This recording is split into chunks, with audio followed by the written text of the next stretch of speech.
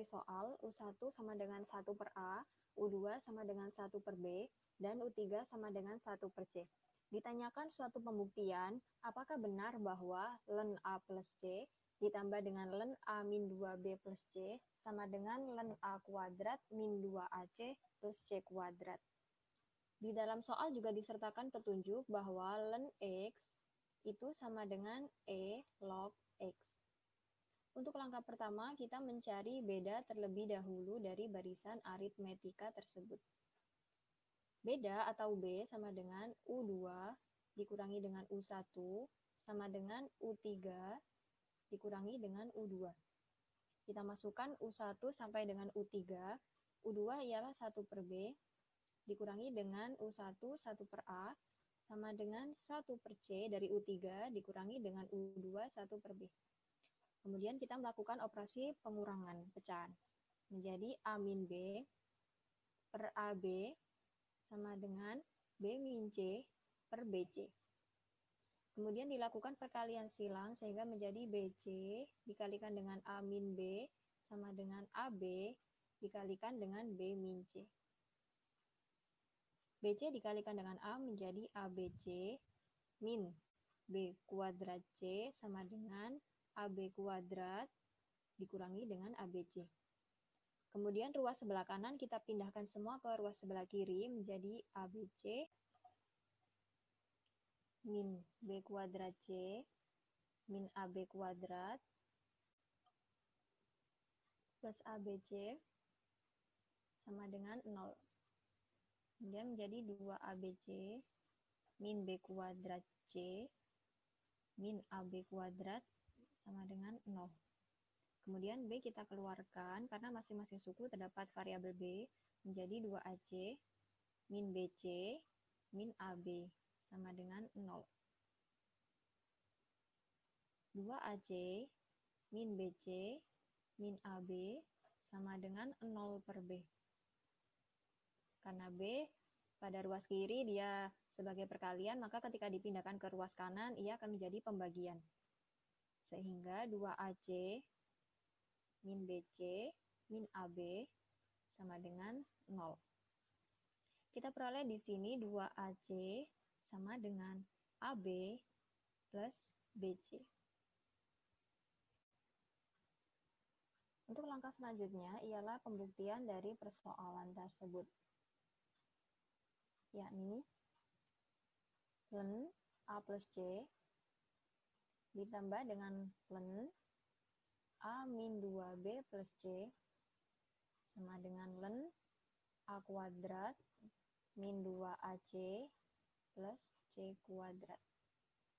Di penunjuknya tadi, len X sama dengan E log X, maka ini bisa kita jadikan E log A plus C ditambah dengan E log A min 2B plus C sama dengan len A kuadrat min 2AC plus C kuadrat.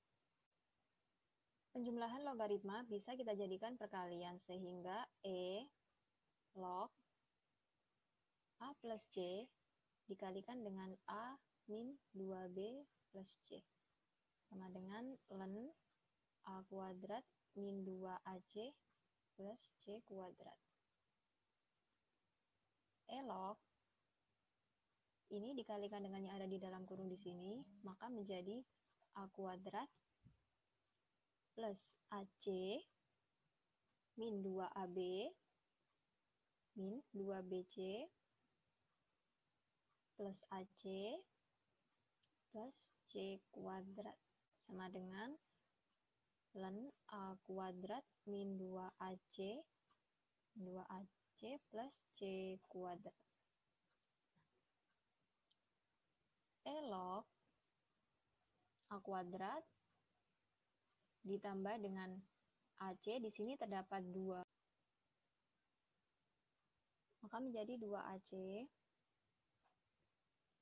min 2 AB dengan BC bisa kita jadikan satu menjadi AB plus BC plus C kuadrat sama dengan len A kuadrat min 2AC plus C kuadrat. E log A kuadrat plus 2AC dikurangi 2. AB dan BC juga sama dengan 2AC ditambah C kuadrat sama dengan len A kuadrat min 2AC plus C kuadrat. E log A kuadrat plus 2AC min 2 dikalikan 2AC ialah min 4AC plus C kuadrat sama dengan len A kuadrat min 2AC plus C kuadrat.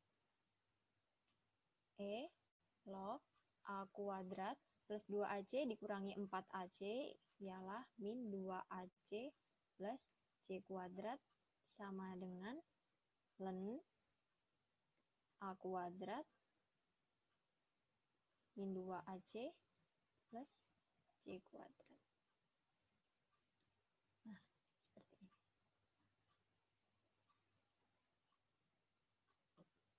Sehingga Bentuk E log A kuadrat min 2AC plus C kuadrat bisa kita rubah menjadi len A kuadrat min 2AC plus C kuadrat. Sehingga hal ini juga sama dengan len A kuadrat min 2AC plus C kuadrat. Nah, terbukti bahwa len A plus C ditambah dengan len len A min 2B plus C sama dengan len A kuadrat min 2AC plus C kuadrat.